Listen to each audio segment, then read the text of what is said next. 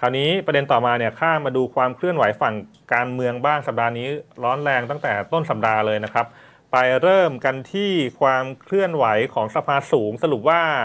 ทางสวสีน้ำเงินเนี่ยประชุมเคาะชื่อเรียบร้อยแล้วนะครับ เกี่ยวกับเรื่อง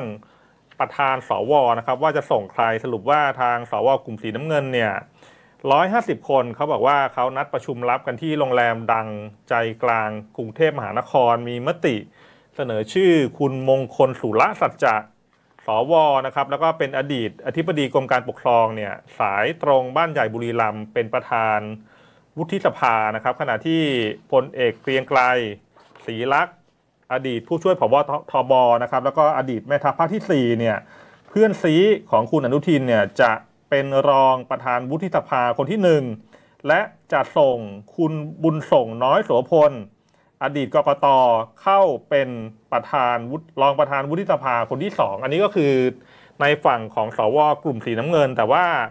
มันยังมีความเคลื่อนไหวของสวพันใหม่ใช่ไหมตางใช่ค่ะทางด้าน สวพันใหม่นะคะ ก็มีมติเอกฉันค่ะ เสนอผู้ชิงตำแหน่งนะคะ เป็นประธานวุฒิสภาก็คือนางสาว นันทนา นันทวโรพาส ชิงตำแหน่งประธานวุฒิสภาค่ะ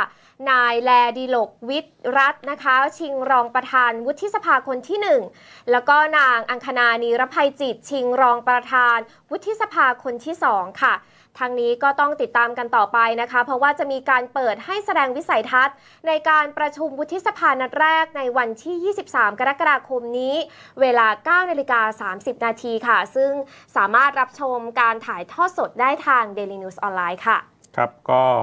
สรุปว่าเดี๋ยวตามปฏิทินวุฒิสภา วันอังคารที่ 23 กรกฎาคม จะมีประชุมนัดแรกวาระเลือกประธานตั้งแต่9โมงครึ่งนะครับ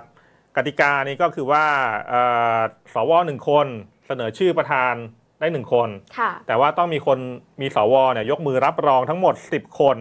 ถ้าเกิดเสนอเสนอชื่อคนเดียวก็ได้เป็นประธานวุฒิสภาเลย แต่ว่าถ้าเกิดเสนอ 2 คนหรือว่า 2 คนขึ้นไปเนี่ยจะต้องมีการแสดงวิสัยทัศน์ก่อน แล้วก็จะเปิดให้ 200 สวป้ายแดงเนี่ยลงมติก็เดี๋ยวพรุ่งนี้นะค่ะก็ จะทราบแล้วครับว่าใครเนี่ยจะได้นั่งตำแหน่งประธานแล้วก็รองประธานวุฒิสภานะครับ อันนี้ก็จบในส่วนของความเคลื่อนไหว สวทั้งสองกลุ่ม สวสีน้ำเงินโอ้โหเขาบอกว่า 150 คนเลยนะ ใช่ค่ะ เกือบหมดสภาใช่แล้วก็อีกกลุ่มหนึ่งก็คือ สวพันธุ์ใหม่นะครับค่ะของอาจารย์นันทนา